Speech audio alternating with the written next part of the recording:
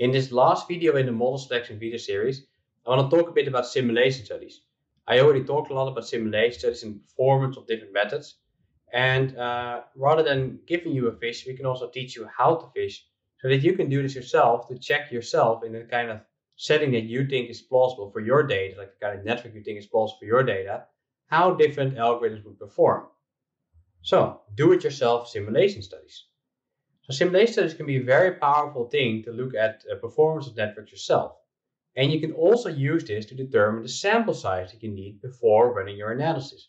So you can take a network from another study, for example, and then see, okay, I want to use the mod stack, and I think this is my uh, network. Then what sample size do I need to get the sensitivity and specificity that I like? So that brings me immediately to the some measures that we often look at. Sensitivity, which is proportion of true edges included in the estimated network. You can also think of this as your statistical power to detect true effects. Specificity is the proportion of true absent absent uh, edges that are also not included in the estimated network. So if an edge is not uh, included in a true network we generate data under, and also not included in the estimated network, then the specificity is high.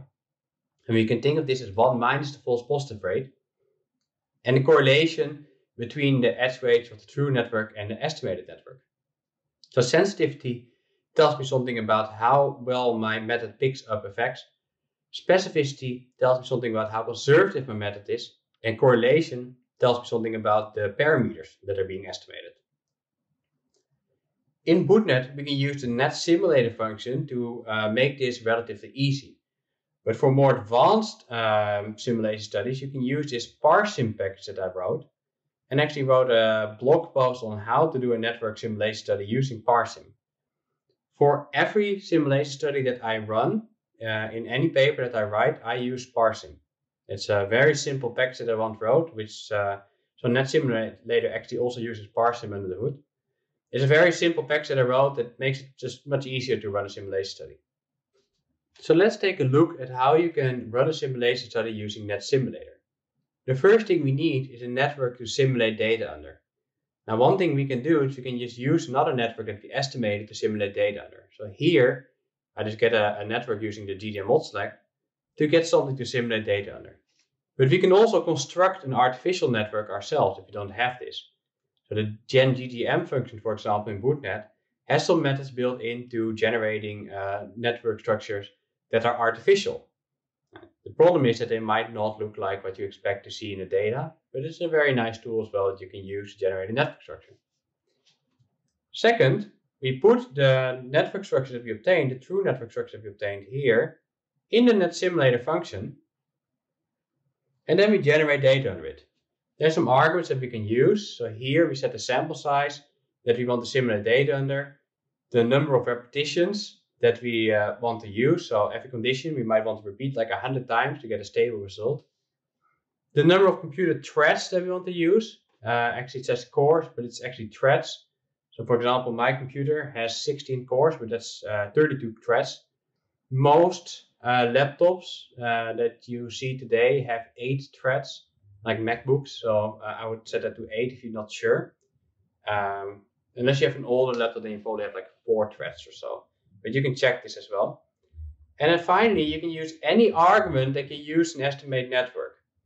So instead of um, uh, saying default equals EBCG So here I could say like, uh, for example, like default equals DT mod or stepwise equals false or any other argument.